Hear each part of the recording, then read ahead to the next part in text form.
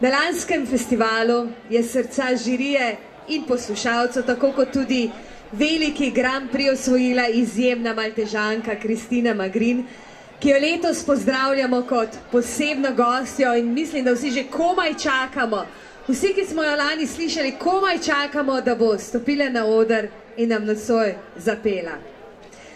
On the last year's festival, the hearts of the jury and the audience, as well as the great Grand Prix, were won by an amazing singer from Malta, Christina Magrin.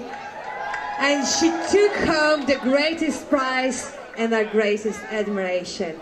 And I can say for all of us that have heard her last year, we can't wait to listen to her again tonight. Zapela nam bo pesmi, and tonight she will sing for us two songs. Bridge over troubled water in And Who's Loving You. Cristina Magrín.